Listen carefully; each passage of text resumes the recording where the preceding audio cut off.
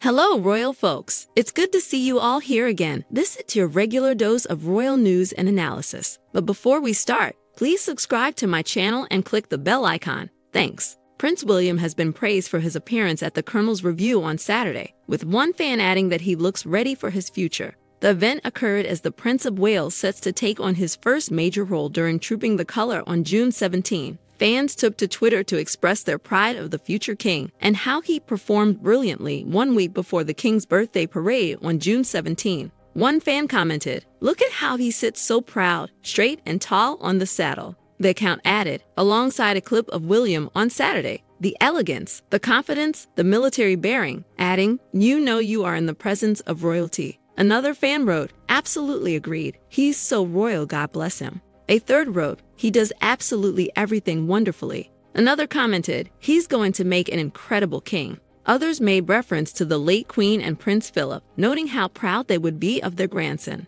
One wrote, his grandmother would be so proud. Another said, William would have made Prince Philip so proud. What a man he has become. Before the rehearsal, William wrote, Months of preparation and training go into trooping the color. Today, members of the Household Division will perform their final major rehearsal for the event in front of members of the public in London. Following the rehearsals, after hearing that some members of the military had passed out, William used the Prince and Princess of Wales' official Twitter account to make the statement, making reference to the weather conditions. Prince William tweeted, A big thank you to every soldier who took part in the Colonel's review this morning in the heat. Difficult conditions, but you all did a really good job. Thank you. Dali.